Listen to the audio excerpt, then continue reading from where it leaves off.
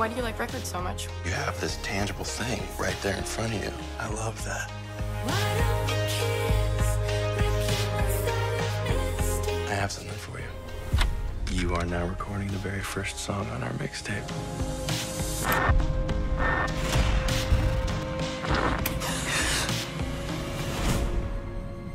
You're gonna think I'm crazy. No, no, I won't. What? Um, what? I'm from the future. Like, like ho- hoverboard future? I'm not kidding. You're gonna die. I don't really know how to say this without sounding crazy, but um, I can travel through time. How is this even possible? I don't know, but every time I play a song on the mixtape, it takes me back in time to the moment we first heard it together. Laura? How am I here? What are you talking about? What, what, what? You're alive.